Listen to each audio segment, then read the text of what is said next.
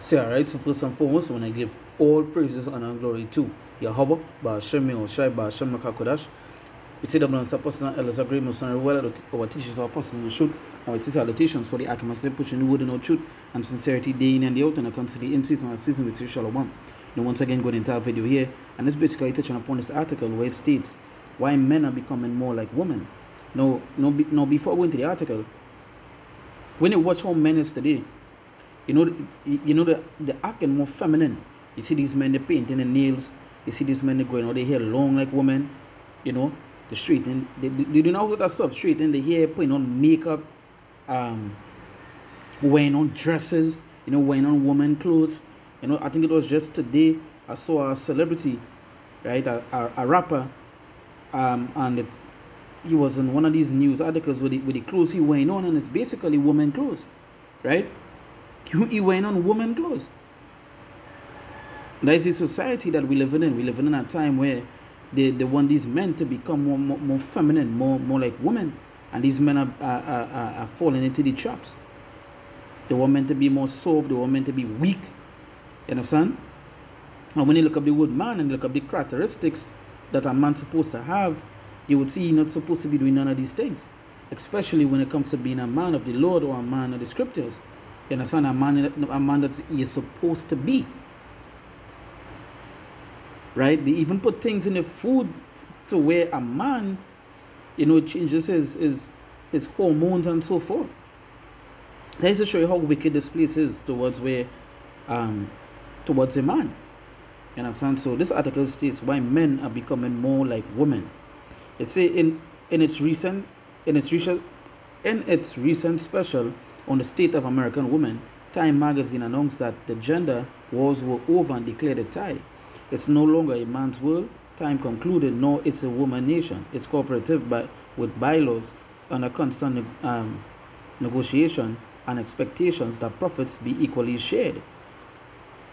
Right? Um, you see, I'm not, I'm not so sure in a war, no matter the outcome of, of a certain um, skirmish or battle, the winner is the party who, whose attitudes, behaviors, and preoccupations come to dominate the post war landscape.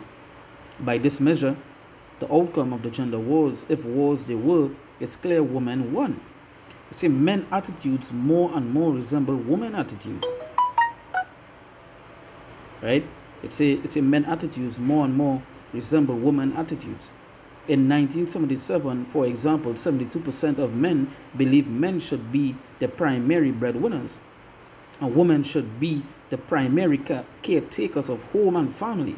Today, only 42% of men hold those opinions, which, which happens to, which happens to be almost exactly the same as the percentage of women who feel the, who feel that way.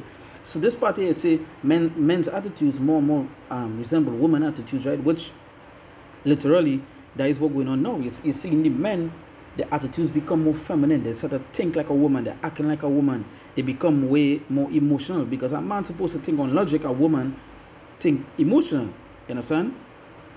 it, it, and that is just. But now the the you're seeing where the men become more feminine, so the attitudes and so forth the change right?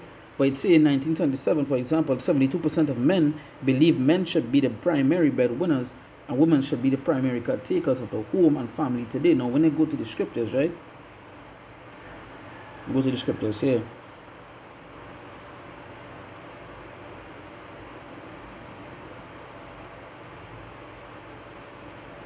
When you go to the scriptures and you go to the ordinances, let me read it. It's First Corinthians chapter 11 verse 1. You say, Be ye followers of me, even as even as I also am of Mashiach. Now I praise you, brethren, that ye remember me in all things and keep the ordinances as I deliver them to you.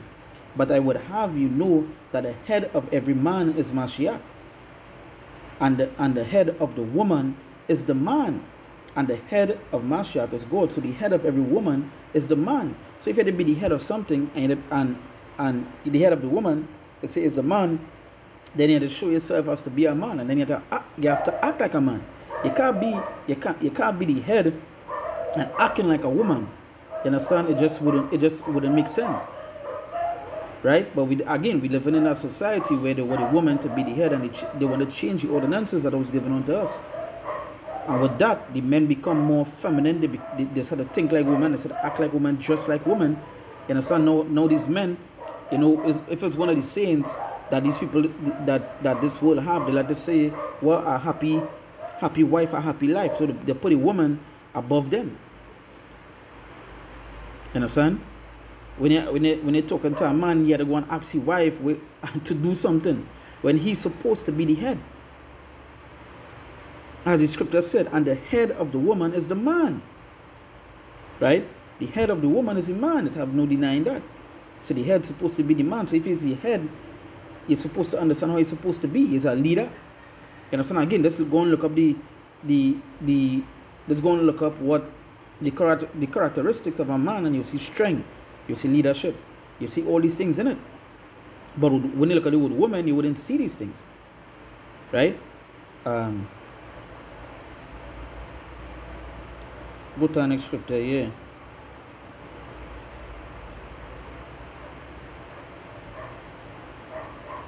This is the, this is the book of Ephesians chapter 5.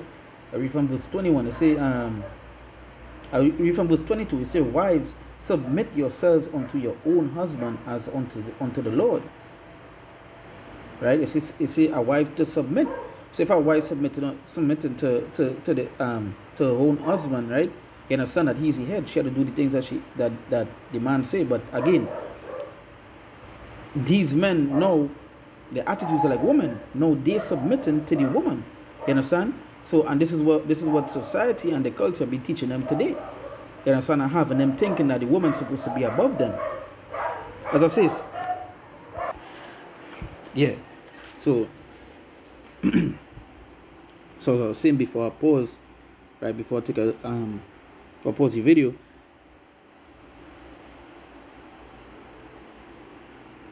So let's go, let's go back to the scripture. Yes, it's um, Ephesians chapter 5, verse 22. It says, Wives, submit yourselves unto your own husband as unto the Lord. So if it says a man of the Lord, he's supposed to be acting like a man. And you know you're supposed to be the head. So these the, you wouldn't you wouldn't be like these men here that becoming like women because you know you're supposed to show yourself to what? To be a man. But in the in this society, it's literally making these men, especially these youths, be, think and behave like women, have them dressing like women, have their hair long, painting the nails, you know, they, they're wearing on the woman underwears, the, the skirts, you know, they, they're wearing on makeup and these things. Right? And the, the, they talk about where Esau doing the test, you know, how men are the, you know, doing tests biologically you know, and, and playing with men hormones and all this other stuff. Right? So it's um verse 23. Ephesians 5 verse 23. It says, For the husband is the head of the wife, even as Mashiach is the head of the church, and he is the savior of the body. So um so the man is the head. So you just you that you're supposed to be when you when you, when you calling yourself a man, you know, it have a certain way you're supposed to be and caring about yourself.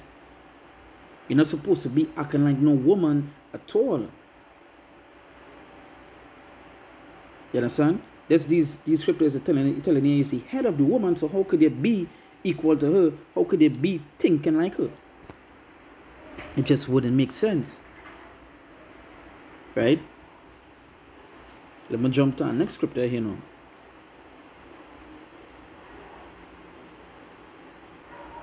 I'm to jump to First Corinthians chapter 16. Um, First Corinthians chapter 16, verse 13. It says, Watch ye, stand fast in the faith, quit you like men and be strong. So it says, Watch ye, stand fast in the faith, quit you like men and be strong. It didn't say to be like a woman. It didn't say to, to And they say to be strong like a woman, be something. They said to quit you like men, be strong. Because that is what you're supposed to be, a man. You ain't supposed to be no emotional thinker, you ain't supposed to be nothing else. You're supposed to be a man. So you say men behaviors are becoming more and more like women's, right? It's a um it's a 1977 men spent on average only six hours a week doing work doing housework as compared to 21 hours of um, for women. Today, when it when it comes to a second shift, men look at the men look a lot like women. Men now spend 13 hours a week on housework, while women spend 17. Um, similarly, simil, similarly,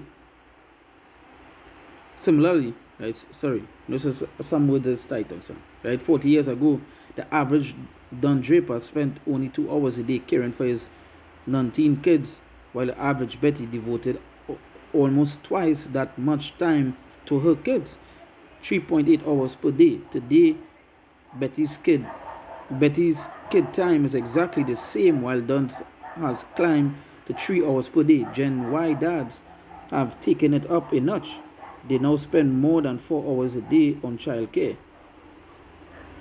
Right? But again, uh, um,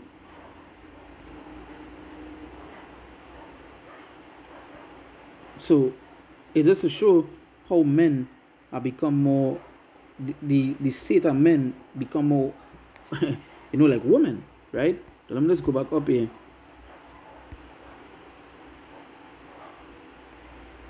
and that is and that is basically what is you're seeing happening today these men are becoming more what feminine right so the scripture say, What she stand fast in the faith and quit you like men, they are not. Just by the way, the, the, the scriptures the, the, the scriptures tell us that we're not supposed to wear the things that the woman wear, right? So, but these men today, they wear they, they, they, they what these women doing and and and and more. Right?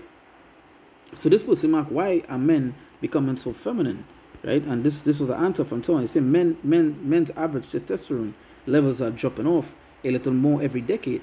This is a generational problem. It's not just happening as a result of natural aging process. There have been no government research that we know of put into tackling this and no interest in solving the problem. Which to be honest, I'm not all at all surprised by estrogen in food and water supply as a result of contamination from birth control pills getting into the water supply could be one reason. Now, this piece here we talk about estrogen in the food and the water, that's actually a proven fact, right? They could go and look up the research that they did, that they did, I believe they did, they did it with the rats or something like that. Um, some tests that they do and they basically let it out in, into society, right? They could actually go and look up that. That is a proven fact. It said there's cultural pushes to make men more feminine, two, of course, which I would say are also having a, an effect a big transgender agenda going on right now, as well as young boys being put on medications for behaving like young boys. Because now, what they want men to think that they when a man showing that he's a man, he become more. They want to call it toxic masculinity. You understand that? You know, you know, to put, they put, they put things in place. As I, as I say here, there's cultural pushes in order to put things in place where they, they make a man feel when he when he acting like a man, it's wrong you know, toxic masculinity and all the um, man um, and mannerisms and and and all this sort of madness that I say mannerism, but I use it in the wrong text. But you know what I mean? The toxic masculinity. You know, there's when they say um, the next word it is used is um, some man thing it is. It That's some man thing. I heard them say one or two times, right? I come to my head one time, but that is you know the cultural pushes is we hearing it hearing these women you see we it other these other feminine men saying it you know um um toxic masculinity right you know I, I watch I watched a video yesterday I can't remember who shared where you know a he she I hope you catch the phrase I use a he she someone that that is a man that he don't want to be with women he want to be with his own sex telling other men how to be with a woman. He don't even like woman, but he telling a man who's supposed to be the woman. So that is that is the kind of things that happening in this in this society. So obviously, these younger boys, these people growing up in this, they, they want to be pleasers, so they, they would act more feminine. Right? um, go to our scripture here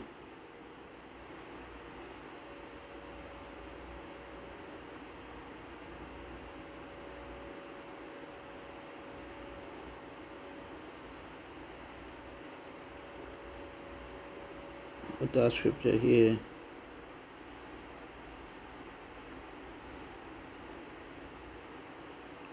This is First Corinthians chapter 6. I go read from verse 9. Right? So it says, Know ye not that the unrighteous shall not inherit the kingdom of God? You see, Be not deceived, neither fornicators, nor adulterers, nor, uh, nor adulterers, nor effeminate. Now, when you look up the word effeminate, right?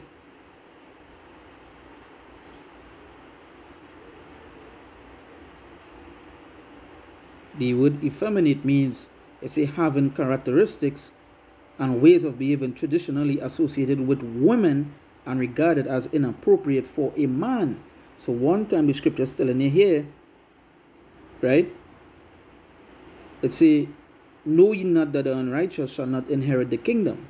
Be not deceived, neither fornicators, nor adulterers, nor adulterers, nor effeminate, nor, nor abusers of themselves with mankind.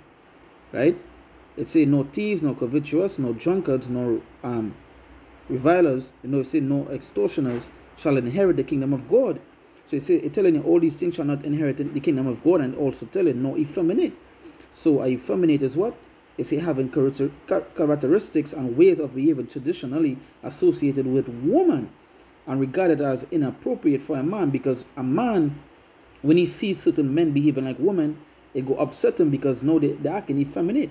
You see a man wearing a dress, you as a man go upset here because that is not what a man's supposed to do.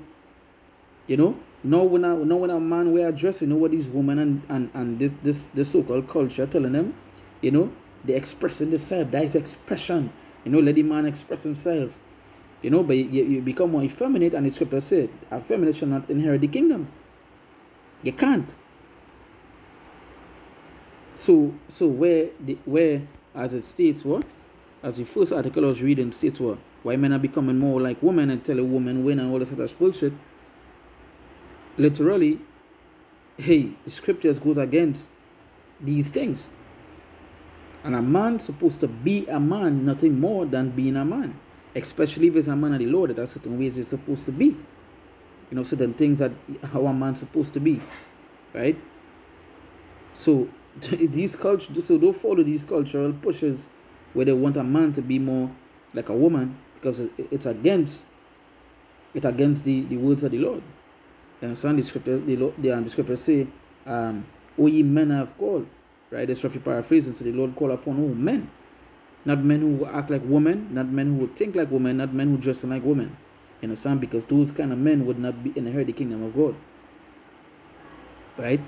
So A. With that we give all praises, honor, and glory to Yahweh, Ba'ashem Yoshai, Ba'ashem Rakakodash. We say double and supposed and elders agree, missionary well, teachers our apostles the truth. I will say salutation, so the I can pushing word and truth and sincerity day in and day out, and constantly in season and season, we say Shalom.